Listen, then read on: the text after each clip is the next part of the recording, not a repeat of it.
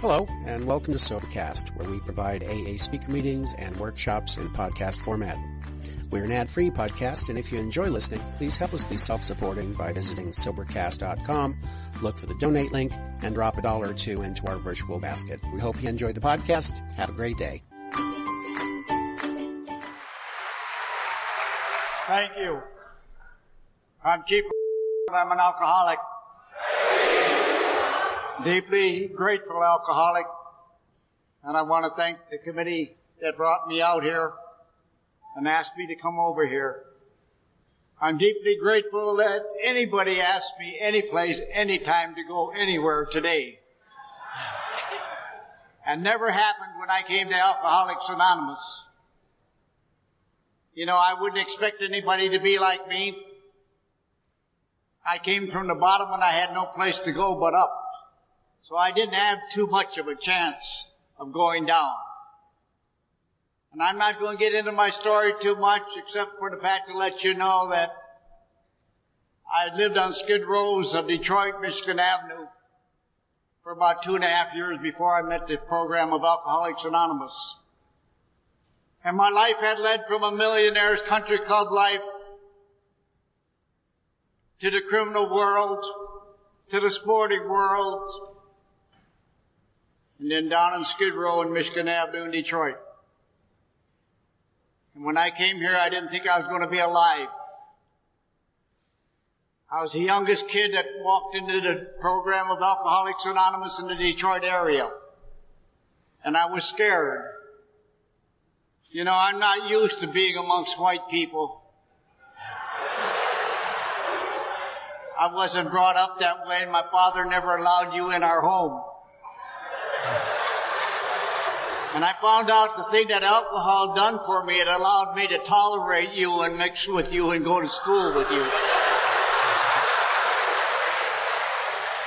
A lot of things alcohol done for me, I was deeply grateful for. And when you heard those words, cutting, baffling, and powerful, I know what they mean. Because I never dreamed that alcohol was going to take me on the road that it did. Down through two wars and into World War II, that's where I started my drinking. And I'm not going to get in that and I'm not going to get up to where I ended. I'll tell you what I'd like to get into. Something that every alcoholic sitting in this room can identify with. And that's simply this. Someplace, somewhere, we all took our first drink. And I don't know about you, but I certainly never said to myself, if I go at this stuff hot and heavy for about 15 years, I can join AA.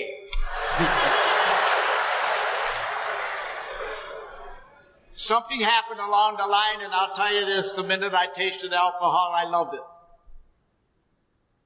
My career started with the 190 proof hospital alcohol that I picked up in, in Guam during World War II. And I loved every bit of it and progressed from there and I loved everything I drank and everything I tasted about alcohol, all of my drinking life, except the few things down I used to drink on Michigan Avenue in Detroit of Skid Row. The one I really couldn't stand was Mennen shaving lotion. I don't know if you've ever tasted that, but that stuff stays with you for two weeks. in your food and everything else. But you know, I was a young man when all of this happened. Very ambitious, well educated. Had ambitions of becoming the first American Indian president of the United States. I had a million dollars and lost it. And I sat on Skid Row one time looking up at the sky and I said, God, what has happened? What's happened to me? I'm all alone. And I knew it. You know, I love this program so much and I love talking about it.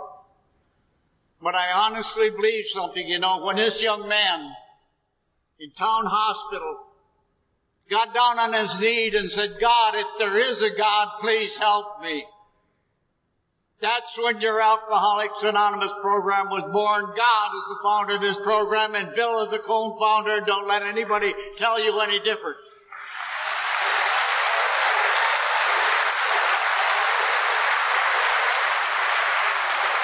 I get kind of sick and tired of hearing a lot of things that have come into Alcoholics Anonymous today.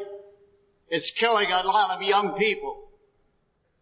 And I still feel that I'm pretty young and I work with young people all of my life since I've been in AA. 90 meetings in 90 days. Hell, I wouldn't have lasted 90, 90 minutes when I came here.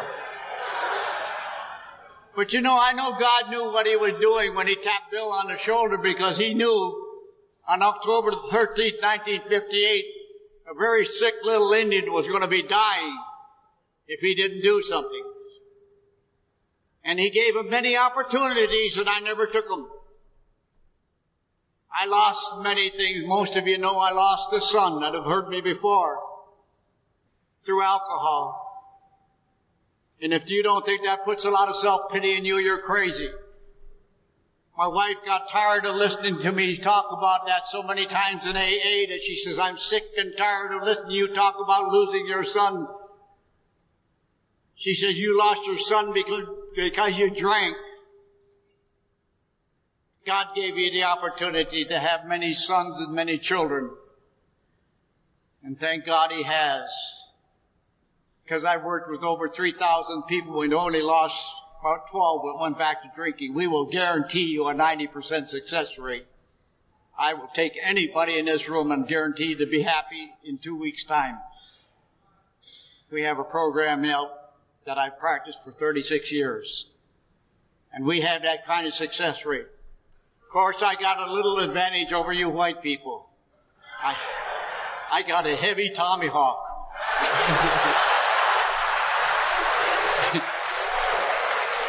if you don't straighten out, you know what happens. But you know, the miracle of Alcoholics Anonymous came to me one day when I was speaking at a conference in North Dakota. And I was standing before 8,000 people and I said to myself and to that audience, I love white people. And to me, that's the biggest miracle that AA eh, has ever performed on me. And I still believe it today. And you may not think so when I get done talking. But I truly love every single one of you here tonight. And I'm sure glad you showed up. I'm glad I showed up. But most of all, I'm glad he showed up. And that's what I can believe today. He knew I was coming and he had to form this program. After all, you white people should have formed some program for us Indians. You,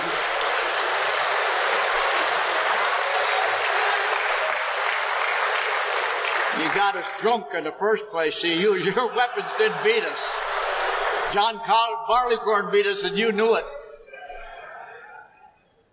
But thank God Alcoholics Anonymous came along, the greatest thing going on the face of the earth, bringing me the one most wonderful way to live in your life. I've been happy and I've been sober since October the 13th, 1958 when I walked into this program and I still am today.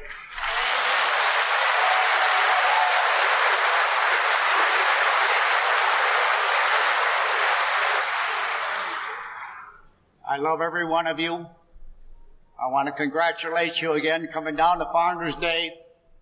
I know you're going to have a wonderful weekend to enjoy yourself, to meet and fellowship, because here's where it is.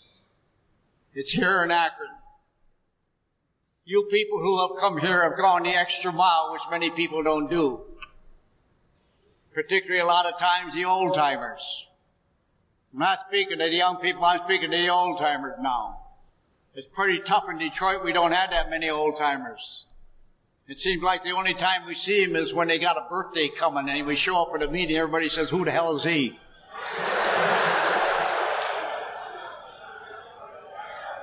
Did you ever hear in your program down around this way, you know, you get a token, they say, tell us how you done it? I was prepared for him one time in about the 30 some years of sobriety I had. I had a piece of paper in my pocket and I was going for a job and I had a resume in there and they said, how'd you do it? And I pulled this paper out and I started to read. They've never asked me that question again. Again, I want to thank you very much for having me here and I want to thank the committee for the wonderful accommodations And last night I didn't think I would be here because I was so sick that I could not walk. But it seemed like the power of Alcoholics Anonymous and the grace of God has always gotten me anywhere I needed to go in Alcoholics Anonymous. I made that pact with God a long time ago. If you will give me the power and the grace to go anywhere you send me, I will go. I know when I get done speaking, the pain and everything else will probably come back, but that's all right. I'm here. And I'm deeply grateful for just one other thing. When you get to be my age and you're still above ground, you better thank God.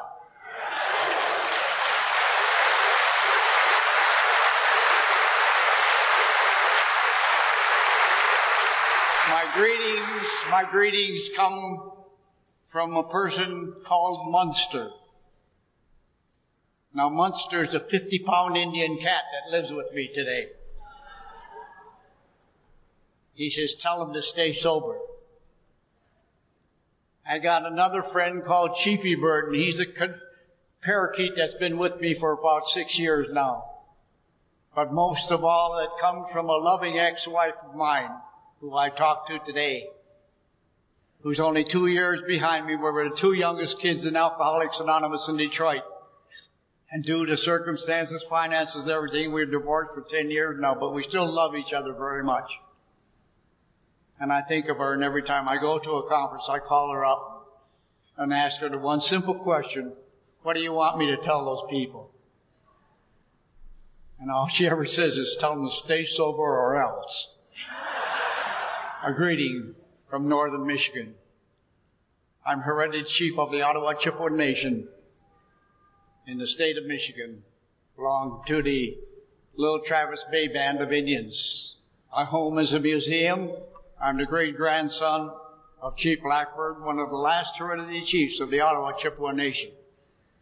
And from my world, I want to bring you the greetings and the gratitude that you white people have brought me and the happiness that you've given me every day of my life, regardless of what's happening. And it's sure great to be here today. Thank you very much.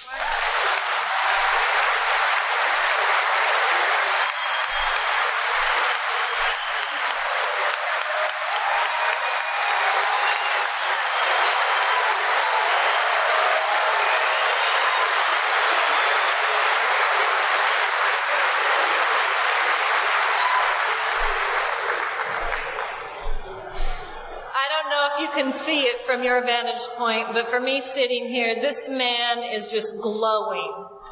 Thank you, Chief. The energy that's not only up on this stage here, but just the energy and, and being with these individuals over the last hour or two is there's more energy in these people than I have seen in myself in the last month, and I think that has something to do with their sobriety and their program. Next, we're going to have Liz from New York with 51 years of sobriety.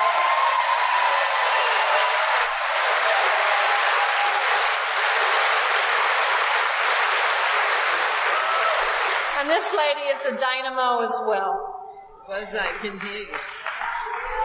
Oh, Lord have mercy. I need a stool. I'm too short. Thank you. Thank you. I don't know if you guys know what you're doing to me, but man, it's a mess. It's a mess. I never knew I'd get sober to go through all this. I'd like to say good evening to each and every one. My name is Liz. My anonymity shot to hell for a long time. and I am convinced that I'm an alcoholic.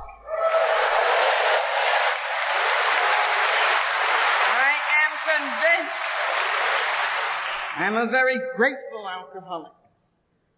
I want to thank this committee that we just had a beautiful dinner together and to hear how hard this committee has been working. I'd love you all to give a round of applause to them.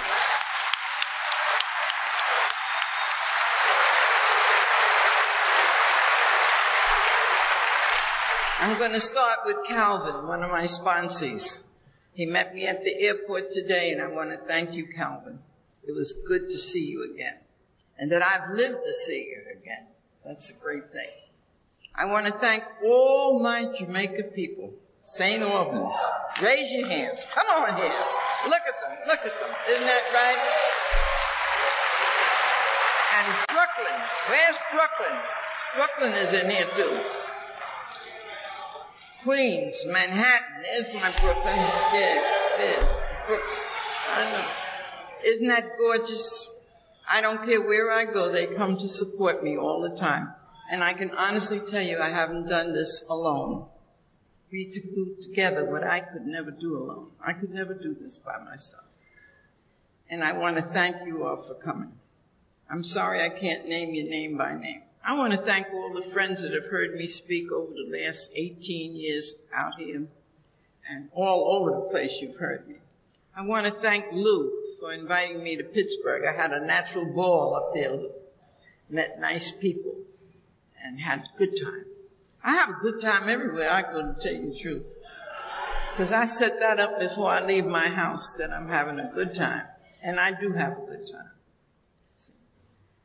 I want to thank Shirley, both of my Shirleys. I have two Shirleys in the audience. One who stays by me all the time and the other one stays by me. So again, I'm not doing anything alone.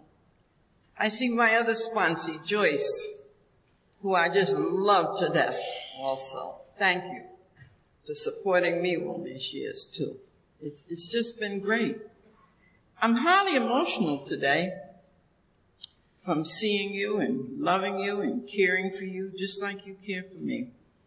Please expose yourself to this love. Don't stay at home. Go out to that lousy hour meeting to help yourself or somebody else. Believe me, go out to it. You'll be surprised how great it is. I used to go to meetings very, very sick, and my husband would look for me to come back drunk. And I'd come out to the meetings and get all this hugging and kissing and lo- we're the kissingest people in the world, you know that. And, and I'd come back home, well, flipping out. And he'd back up on the wall because I'm supposed to be drunk. But not with you. I didn't have to drink. I think many of you know I've been through many, many crises and cycles, all kinds of stuff. In this next month, I'll have 51 years.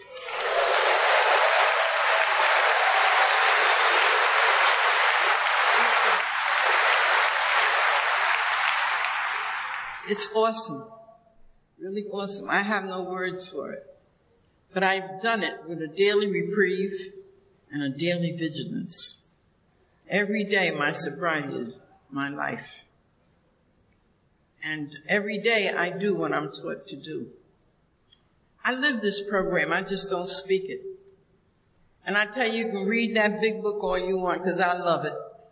But if you don't live it, it don't mean a thing. Don't mean a thing. Believe me when I tell you. Believe me. And I'm speaking at a meeting last Wednesday. And I mean, I get off, I get on a roll. I'm glad she got a bell. because I get on the roll of how good AA has been to me and so many others. And I can't stand to see you play games with this fellowship. It's a life and death matter. A little girl was running up and down in front of me in Valley Stream one night. I said, go sit with your mommy or whomever brought you. I'm not up here socializing. I'm up here with my life, hoping to reach someone else's life always. Bernice, don't let me forget to tell you I love you.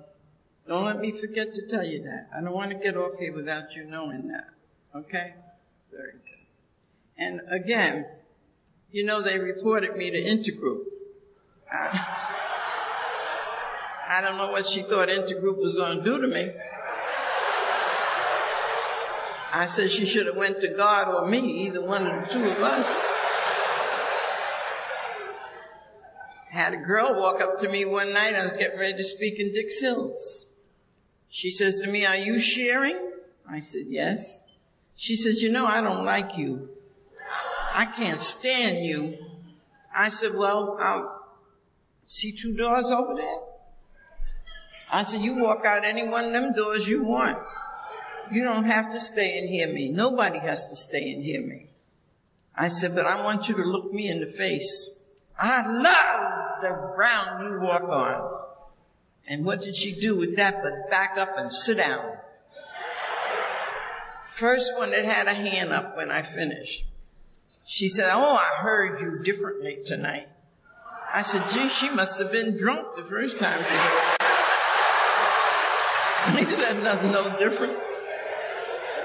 I haven't gone out and got anybody a new story at all.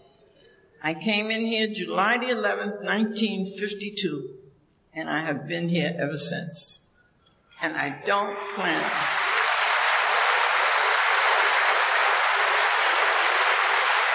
Thank, thank you, thank you, thank you. That's small when I say thank you. But you know, I'm not planning to go anywhere. I'm 82 and I'm swinging, baby.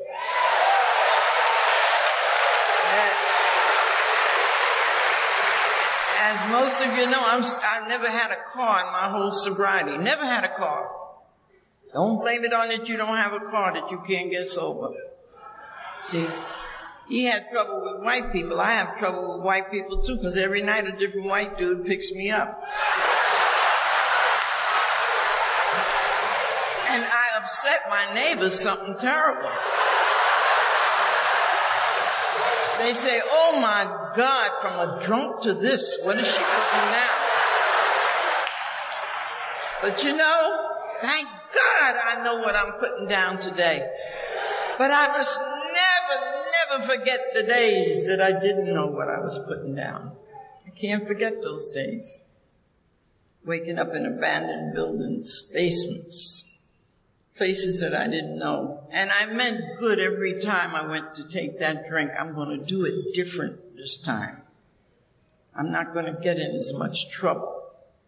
And it got worse. It never, never got better. And you know why I stay here too? Because I go to many meetings and I listen to you guys that go out there and do it and come back in here. Not one of you have told me it's so great out there. Mm-mm. You haven't told me it's great. So I'm not planning to go back out there. I don't care what you lay on me. I'm just coming through a depression. And I want to tell you, that was the hardest depression recently that I've had to grow through, G-R-O-W through. And I went through that depression because life wasn't on my terms. Things wasn't happening the way I thought they should happen.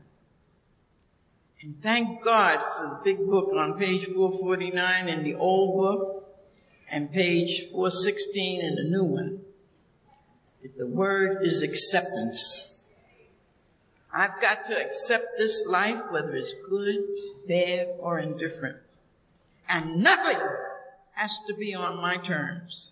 My will is no good, never was any good, and never will be any good. Because if it was so good, I wouldn't need to come to AA. I wouldn't have needed it.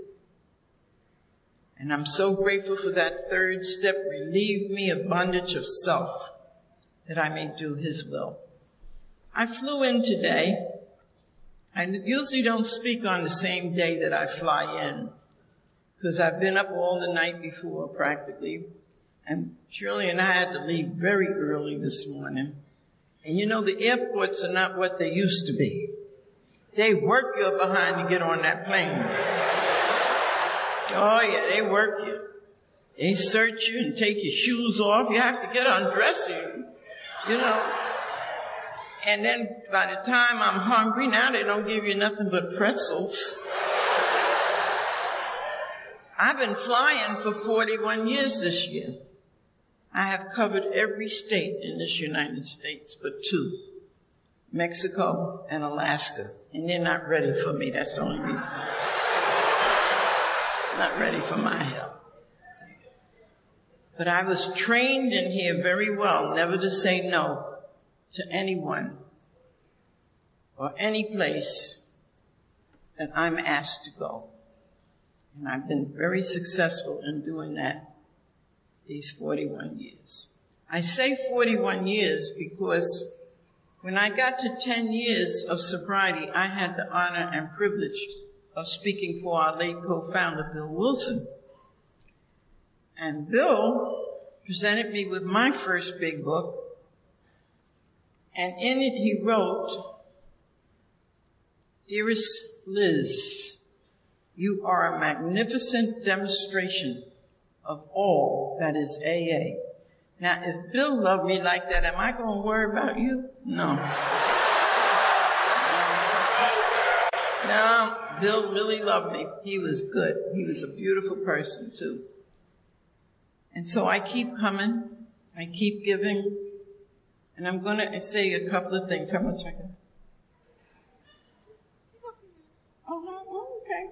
I go to a group in the city and they sit somebody down in the front with a card.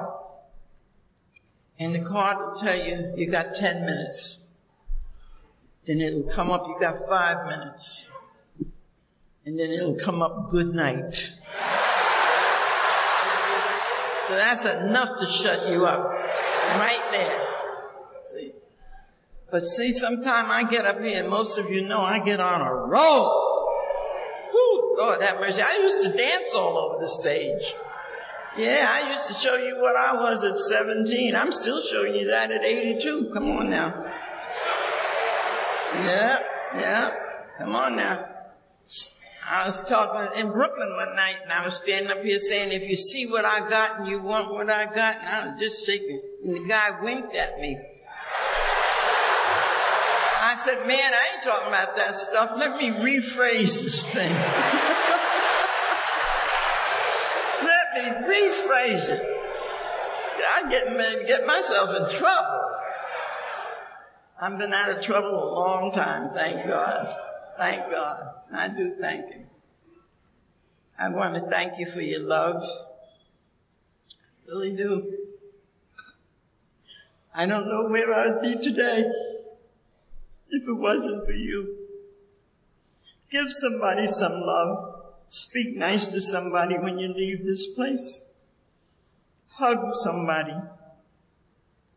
But most of all, give of yourself somebody, someplace, somewhere. And you'll see the benefits that will come back to you. I've had nine operations in 41 years. I've been to death's door nine times. God keeps bringing me back. He keeps bringing me back. I went up and had three operations in six weeks. The doctor says to me, you've got cancer. I'm giving you six months to live. I said, you don't talk to me like that. I'm in a fellowship that teaches me I live one day at a time. I'm now 36 years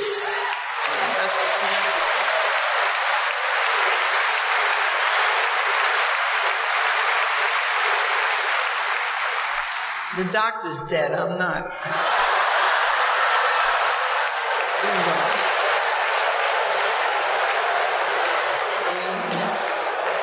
He, he been gone, and I'm still hopping these cabs and buses and subways and trains and planes. Come on, what you gonna do with your life?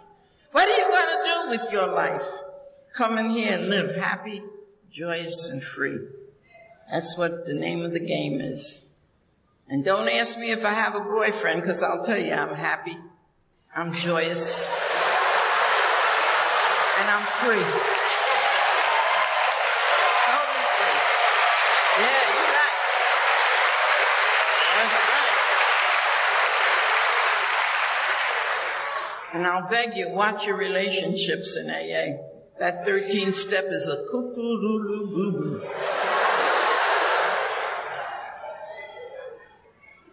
You gotta have love and respect for each other. And grow together. Stay together. There's been a lot of happy marriages in AA. There's a lot of unhappiness too. Let God give you somebody. Because learn that what you pick ain't from nothing. Nothing. Mm-mm. Look what you look at your past. Look at your past. Let your past tell you something. Let your past tell you something. Because it will tell you something. Please get sober for yourself. If I had to stay sober for my mother, I'd have been drunk, drunk, drunk. For Mr. Bailey, I'd have been drunk, drunk, drunk. Mr. Bailey couldn't stand me in AA. After I spoke for Bill, he asked me to please leave, and I did leave. My oldest son is 63 now. He was 12 when I came in. He still hates my living guts, but that's all right. I found a God who has forgiven me 70 times 7. Woo! I'm telling you, any man, woman, or child want to hold my past over my head has to be their problem. That is not my problem. I love him. He's going to be like the prodigal son. One day God will have him ring my doorbell. Yes, he will. I just have to wait patiently. That's all. And keep love in my heart for him. My second son was shot and killed at the age of 28. And I don't cry for my son because I would disturb his beautiful spirit. My sister went in right after he was killed and she jumped 30 floors. I just lost a daughter recently Lou Gehrig. To see a beautiful girl go down to a skeleton almost killed me. I walked the streets of Jamaica a many day coming from that hospital crying. But the AA members were with me. And God sent me an angel to be with my daughter at the end of her life.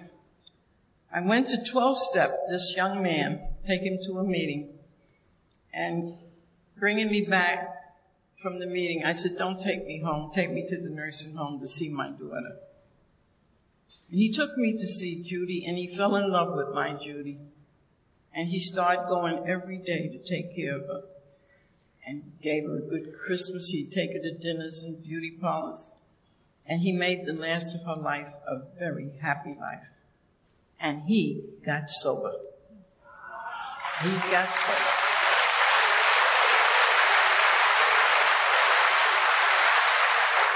You girls and boys don't know he took the weight off me too. Took a lot of weight off me to let me come back to myself. So we love each other and we care for each other. I have a beautiful AA baby. She just made 46. And she's gorgeous. I have 12 grandchildren that I see by appointment only. I do not babysit. No. No babysitting. And I have five great grands. God has been good, and He's good all the time. If you let Him, you've got to let Him. You've got to let Him. Get yourself out of your own way, please, so that you can have this beautiful life that we can do together, but I can't do alone. I love you guys. I love seeing my girl here too. She had a, I don't know if my girl is from the table tonight. I'd like you to meet this young lady who had a motorcycle accident. And when I saw her walking up here in my face tonight, I almost went to the floor because she said she's following my footsteps. So honey, you headed for something. You headed for something, I'm telling you. But I love you so much. Her name is Peggy too. And I'm not shooting her anonymity because I didn't mention her last name. See, but that's Peggy. And I'm so grateful for God and you, Peggy. Many of you, many of you. I could stand up here all night and mention you. And you know who you are, though, in my life. Yes, you do. I had two young dudes. You know, I, my doctor asked me, do I go to senior citizen? I said, oh, no, no, no. She said, why, Miss Bailey? I said, because I can't stand the moaning and the groaning. No. I really can't. I hang out with these young dudes in AA. Fine young dudes who's going and giving and doing. And you see what they do to me? They charge me up. Charge me right up. Get a hold of one of them because they're the next legacy, really. They're our next legacy. And we need to keep them here. And don't put them down for no God given reason. Care who they are. I love you. Oh, yes, I do. I love you. And I got to watch myself because I could break down up here so bad. But I'm trying to keep myself up because I'm not allowed with stress. And I try to stay away from stress. Oh, the bell is ringing, honey. Thank you all.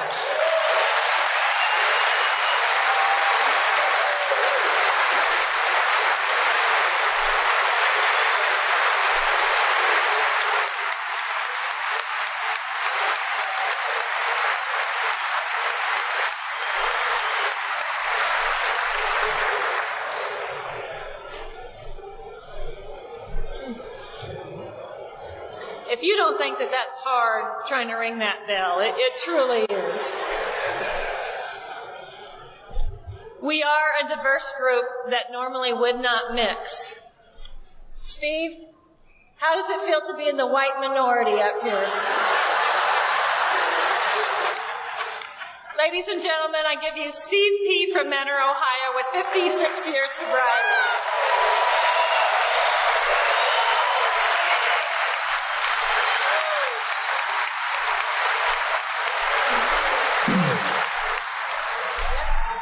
My name is Steve. I'm an alcoholic.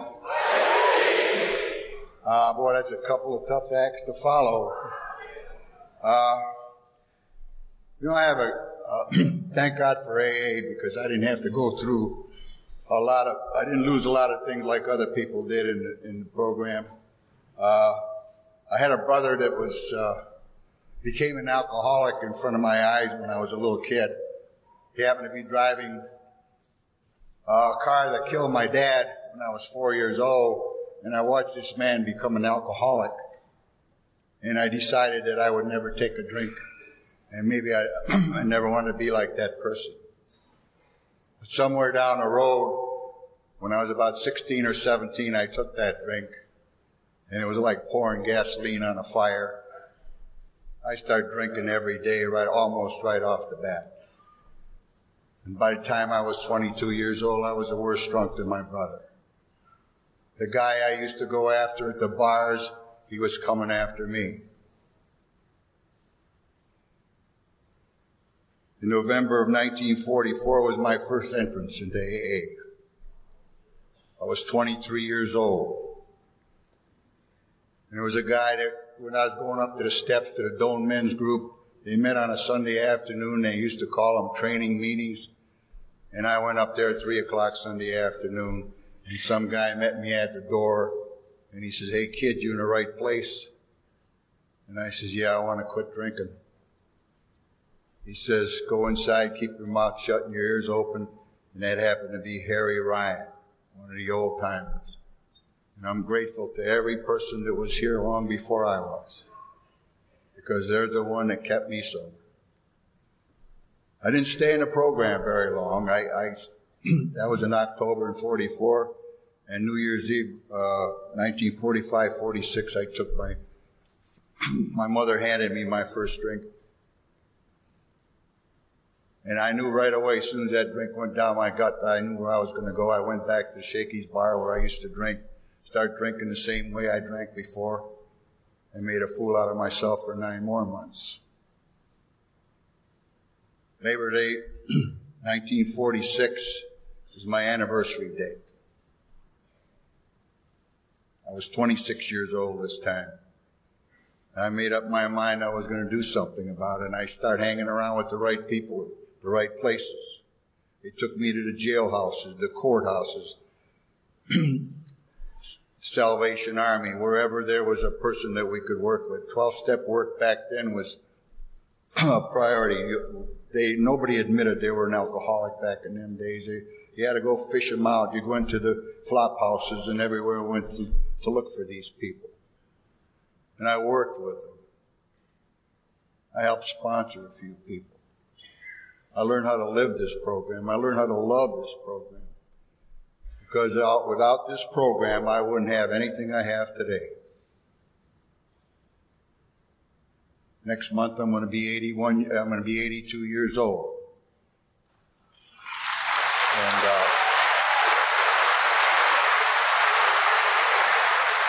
I have a wife that's going to be 60 years that we've been married. And she's sitting right over there.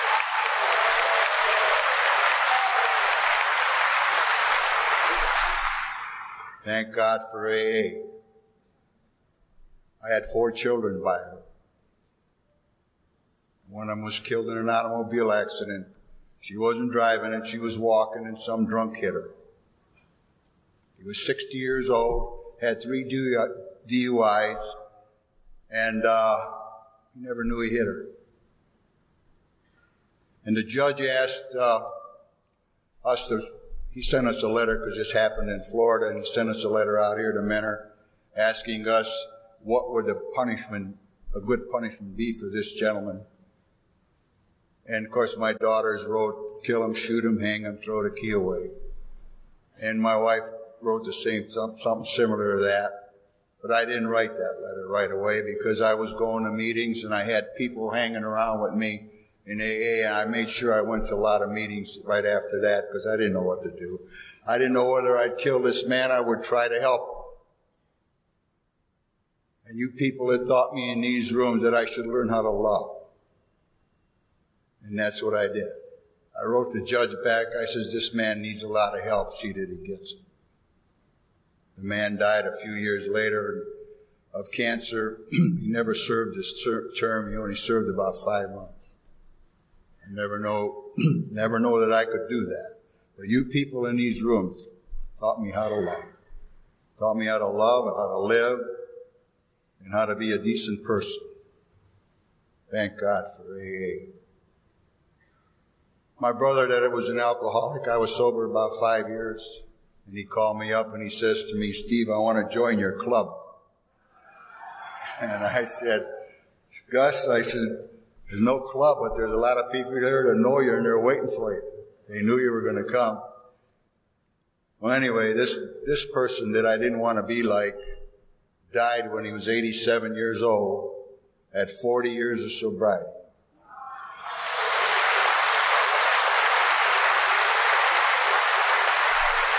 Thank God for AA.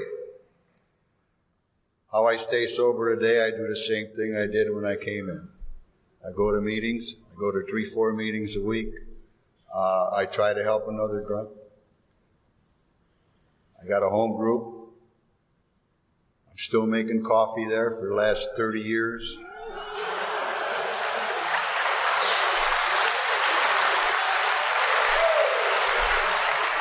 And you know what? How I got that job until one day I complained about the coffee and, and the guy said, you make it tomorrow. That's what I did. And I've been there ever since. We meet every Tuesday. We have a beginners group. And I'm so anxious to get there to, to start setting up the meeting. I still set it up. I go there at noon and I set the meeting up. And then I go back at six o'clock and I set, make the coffee for the beginners meeting at seven o'clock. And our regular meeting starts at eight. But I'm so anxious to see these people coming through them doors and shake their hand. And if somebody's missing, I always ask, where's this guy? I haven't seen him for, I haven't seen him for a couple of meetings. I'm always looking for somebody to talk to. A young fella come up to me. You know, I thought I was young when I came into the program. He come running up to me when I was making the coffee, and he says to me, he says, Steve, he says, I just joined your home group. I want you to give me something to do. And I said, how old are you? He says, 14. 14 years old. And I thought I was young. And he's telling me, and I talk to these young people as they come through the door, and they tell me it's no different out there than when I was out there 56 years ago. The same torture and, and the headaches and the jails and everything's all waiting for me out there if I ever take that first drink. It's still there. I don't have to. Thank God for AA. I don't have to live that life I had before worrying about whether the jail was going to, uh, somebody going to throw me in jail the next day. Because I, when I was drinking, I was in every racket that you could think of. And I never ended up in jail. My boss wouldn't press charges against me. He could have sent me to the federal penitentiary. Never did. Thank God for AA. Because I would have been in a penitentiary sure as heck. Or dead. I had a lot of people after me. I was a mean, selfish person. And you people taught me how to be a different person, how to love and understand. Share this love with my fellow man. Thank God for AA. I have a lot of good friends in AA. If you, if you judge a guy's wealth by his friends, I'm more than a billionaire because I have a lot of good friends in AA. Right there, they're sitting there from Mentor, Ohio. They come up, give me support. Oh, boy, I, I need it. I want to thank everybody here that came here, and, and, and I wish you uh, uh, the next three days have a good time and enjoy it. Uh, I want to thank uh, Dana for asking me and the committee for putting such a wonderful thing together every year. And I hope I could come back some years later and I'll still be sober.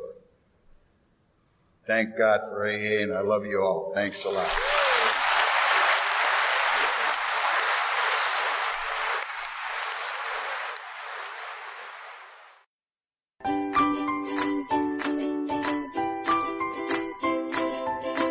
Thanks for listening. I hope you enjoyed the podcast. Sobercast is ad free, and we'd like your help in order to keep it that way. So if you'd like to help us be self supporting by pledging a dollar to a month, visit Sobercast.com and look for the donate links. Thank you very much.